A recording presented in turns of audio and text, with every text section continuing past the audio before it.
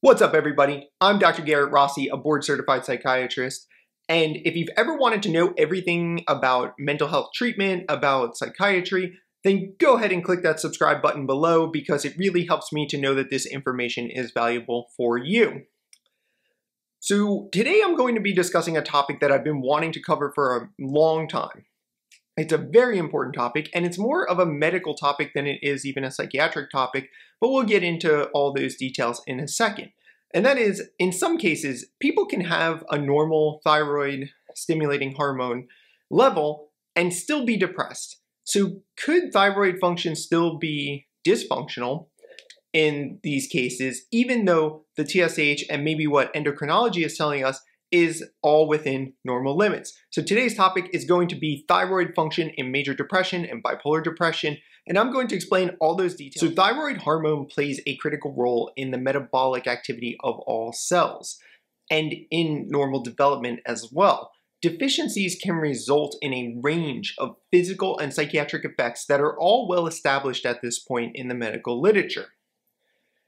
Now, as a psychiatrist, in some cases, you're going to see patients who are not responding to treatment for depression or bipolar depression, but they will respond much more robustly when augmented with thyroid replacement therapy. Thyroid replacement therapy is a well established method and augmentation strategy for the treatment of depression. These patients may even have a normal TSH and even a normal T, free T3 and T4 levels. So if somebody were to have an abnormal TSH, so this is thyroid stimulating hormone, and this is a common screening test for hypothyroidism or hyperthyroidism, depending on the clinical picture that's being presented. And if somebody's TSH is abnormal, well, first you might want to recheck the TSH again and be sure that this lab is accurate and this is not a falsely elevated TSH, for example. But let's say that the TSH comes back, it's still elevated, then you might want to get a free T3 and T4 to see whether or not the free thyroid hormone is at appropriate levels or not. But these patients that we're augmenting this medication with are often people who have normal TSH, a normal T3, and a normal T4. So we can see from this diagram that there's great overlap between the symptoms of depression and hypothyroidism, and this is what led to the hypothesis that possibly using thyroid hormone may be helpful as a treatment strategy for depression.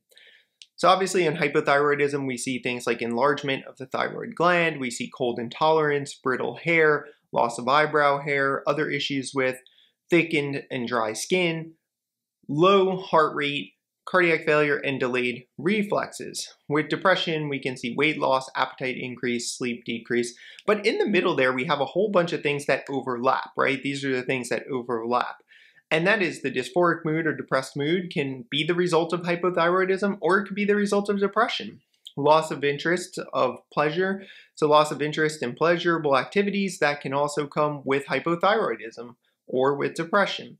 Weight gain, appetite decrease, sleep increase, constipation, decreased libido, anergia, fatigue, decreased concentration, and suicidal thoughts can all overlap between hypothyroidism and depression. Although it's important to rule out hypothyroidism when evaluating a patient for major depression, in most cases the adjunctive T3 treatment is used in patients who have a normal thyroid function. So these are patients who have normal thyroid function, and we're going to talk more about what we're looking for in terms of their TSH levels and why it might not be the case that a normal TSH necessarily indicates an, a proper functioning thyroid.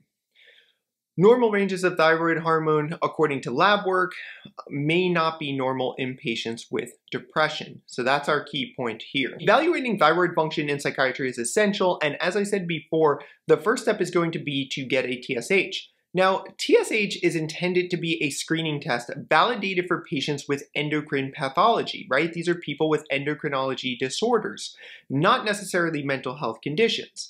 And when we think about that, we want to keep in mind that the cutoffs that many of these um, lab labs are using, and say each lab has a slightly different cutoff, but let's just say the cutoffs that they're using is for a population with endocrine pathology, not necessarily for a population with mental health conditions. So these TSH levels that may be appropriate to diagnose hypothyroidism, for example, or abnormal thyroid function in somebody with an endocrine disorder are not the same for those with mental health disorders. Now, psychiatric patients with subclinical hypothyroidism or incomplete response to antidepressants should be treated with thyroid hormone. So if somebody is having an incomplete response to it with antidepressants, you can consider using thyroid hormone. And again, if somebody has subclinical hypothyroidism, meaning they have, say, an elevated TSH, but they have normal T3, T4, you could also treat those patients as well. So because they're not presenting with clinical symptoms, again, does not mean that it's not affecting the mental health treatment.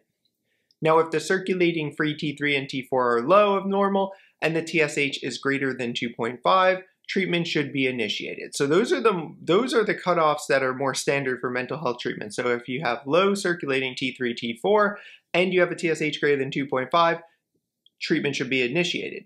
Now, I would argue that even if the TSH is greater than 2.5, you could consider initiating treatment in somebody who has an inappropriate or lack of response to antidepressants alone. Family history of thyroid dysfunction should also be screened for, and incomplete response to medication for depression should also be considered when deciding whether or not to start somebody on thyroid replacement treatment. So you might be asking a critical question at this point, and that is why is the cutoff 2.5 for the TSH level in patients with depression? And this actually comes from Harvard's Bruce Cohen, who published an article in the American Journal of Psychiatry in 2018 where he used the cutoff of 2.5 for TSH and said this is not normal. So if your TSH is 2.5 or above, this is not normal in psychiatric patients. Now, if the patient has antidepressant resistant treatment and a TSH of 2.5, they should be treated to a target TSH of 1 according to Cohen. They do not see much risk of treating patients. So like this research did not demonstrate much risk in treating patients with depression to that level. And the most concerning side effect was atrial fibrillation, but it appears to be rare and only occurs when the TSH is driven below 0.1. So this person would have to have a substantial amount of thyroid hormone treatment in order to develop the most feared complication of thyroid replacement treatment right? So this is where they came up with this idea. And a majority of people in the general population actually have a TSH around 1.5.